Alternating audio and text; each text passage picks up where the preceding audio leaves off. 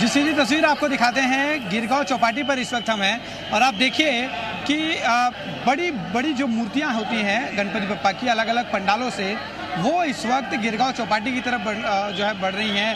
और आप देखिए, इतनी खूबसूरत मूर्तियाँ और इन्हीं बप्पा के दर्शन के लिए बड़ी संख्या में आप देखिए ये समंदर के किनारे हम हैं जहाँ पर पप्पा का विसर्जन जो है आज होगा। समंदर के किनारे इंसानी समंदर आप देख सकते हैं जहाँ तक आपकी नज़र जाएगी सिर्फ़ और सिर्फ़ बप्पा और बप्पा के भक्त यहाँ पर दिखाई देंगे। आ, आज जो उद्घोष है गणपति बप्पा मोरिया अगले बरस तू जल्दी आ यानी कि अगले बरस आने की कामना के साथ आज बप्पा की विदाई हो रही है। दस दिनों तक पूरे मुंबई में बेहद ही खूबसूरत माहौल था। हर जगह पर बड़े बड़े गणपति पंडाल बड़े बड़े गणपति मूर्तियाँ देश और विदेश से जो लोग हैं, वो आते हैं इस समय बप्पा के दर्शन के लिए। आपने लाभ के राजा का ज़िक्र किया कि कई ऐसे विदेश से जो लोग हैं जो हर साल बप्पा के दर्शन के लिए लाल बाग पहुँचते हैं।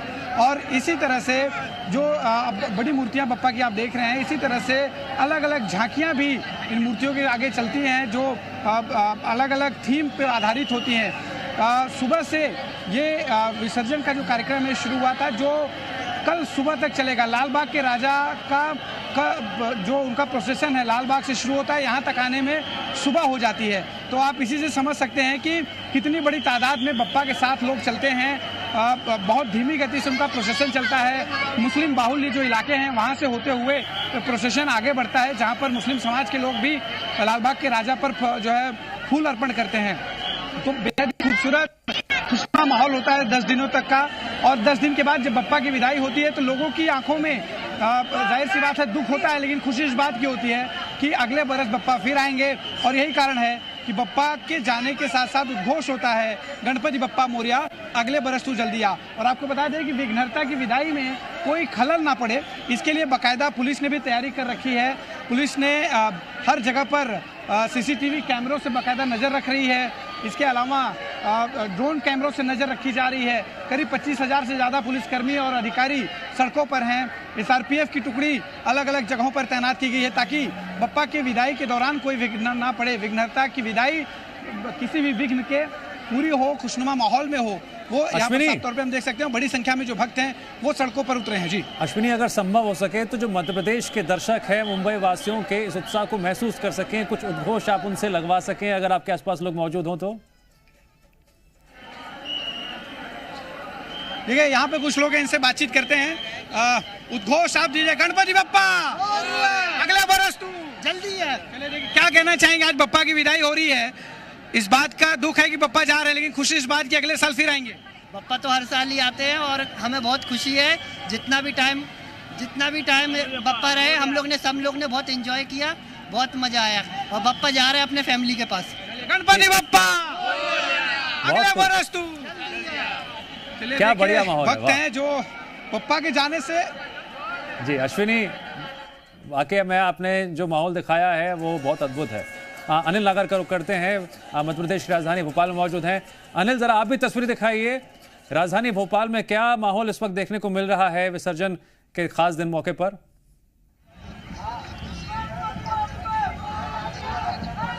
देखिए, दिव्यांश, भगवान गणेश की भक्ति की बात हो तो बच्चे से लेकर युवा, बुज़ुर्ग, हर कोई भगवान गणेश की भक्ति में लीन नज़र आता है। कुछ ऐसी ही तस्वीरें इस वक्त राजधानी भोपाल में देखी जा सकती है।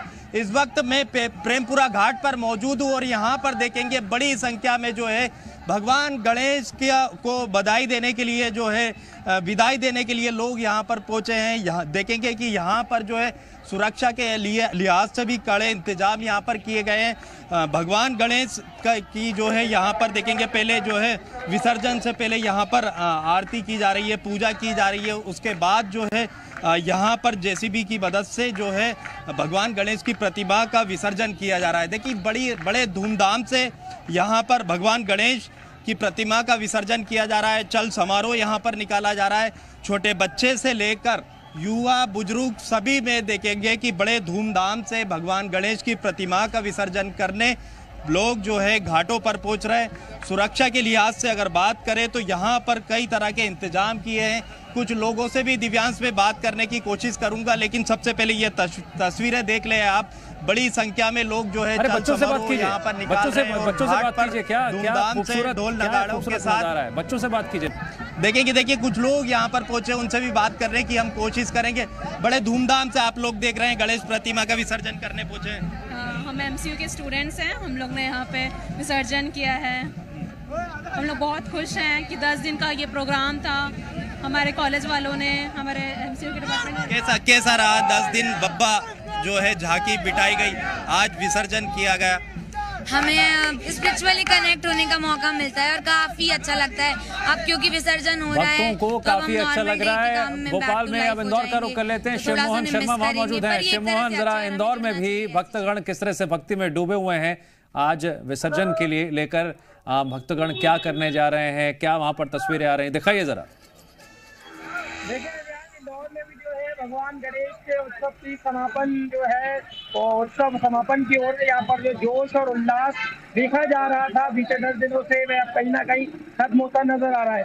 जिससे लगातार जो है लोग लोगों को भगवान श्री गणेश के लिए विसर्जन में लगे हुए हैं। मैं दिखाना चाहूँगा तस्वीरों के माध्यम से कि किस प्रकार से देखिए कि भगवान गणेश जी की मूर्ति है वो यहाँ पर लोग लगातार लेकर आ रहे हैं और विसर्जन के लिए यहाँ पर भगवान गणेश की मूर्ति को रख रहे हैं क्योंकि ये पूरी व्यवस्था जो है नगर निगम द्वारा की गई है कि नगर निगम ने पूरे इंदौर शहर में लगभग तिरानवे जगहों पर इन सब चीज़ों का व्यवस्था कर ली गई है कि कोई भी जो है श्रद्धालु जो है भक्तगण गणपति विसर्जन भी कर रहे हैं और कह रहे हैं अगले बरस तू जल्दी आ।